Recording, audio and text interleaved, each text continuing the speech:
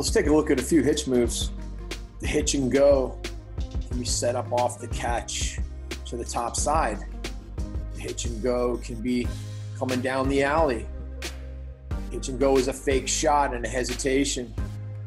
Forces defenders to approach thinking they're taking away a shot. The hitch move can be done off the dodge as well.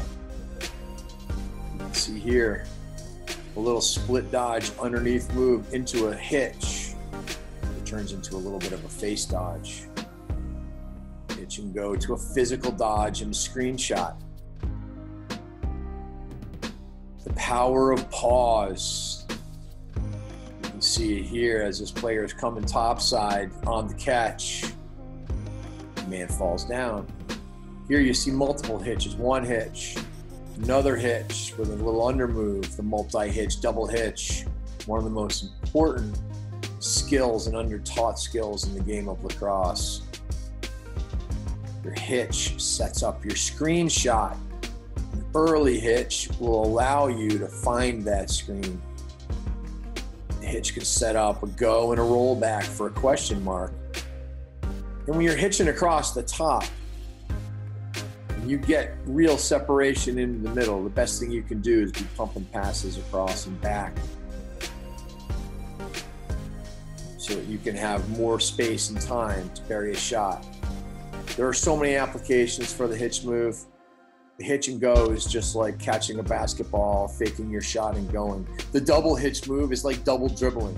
Catch, fake your shot, put the put the ball on the ground, pull up, fake another shot, and go. Could you play high level?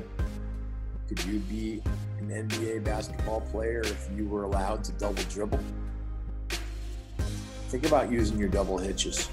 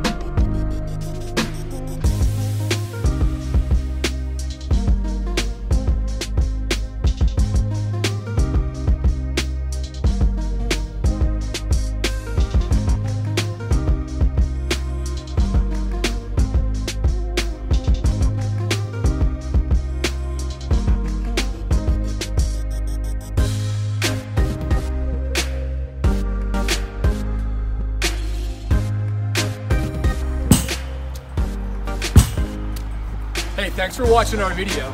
If you liked it, please like and subscribe to our YouTube channel. If you want more free content, click the links below. There's tons of great stuff.